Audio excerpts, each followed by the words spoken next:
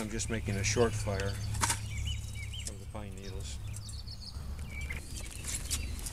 And I gotta nail some things together. Then I, honeybees are important to blueberry fields because they are uh, serving as pollinators. The blueberries wouldn't produce the berries they can produce without some kind of pollination. And there are not enough wild pollinators around here to do it. Bumblebees could help and wild honeybees could help, but there just aren't enough around here.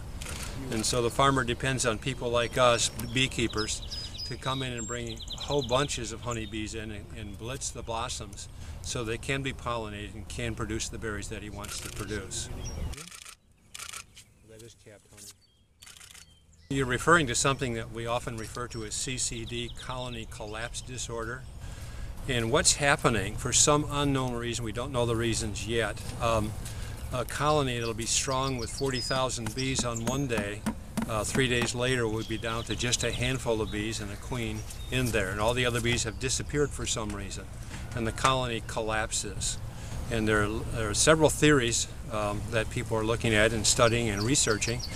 But it seems to be that one of the parasitic mites, the varroa mite, has gotten to the bees and weakened their immune system and allowed other diseases and viruses to get in there. And then as the bees become weak, they just don't make it back to their, their home hive and die out in the field or find some other place away from the hive to die so they don't contaminate it for their sisters back home.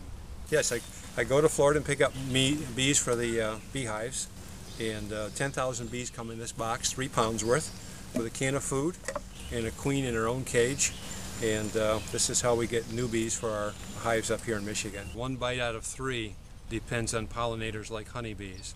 And um, our wonderful blueberries would disappear, and our apples and our cherries and our peaches would be of much less quality and quantity if we didn't have honeybees to pollinate those trees in the springtime.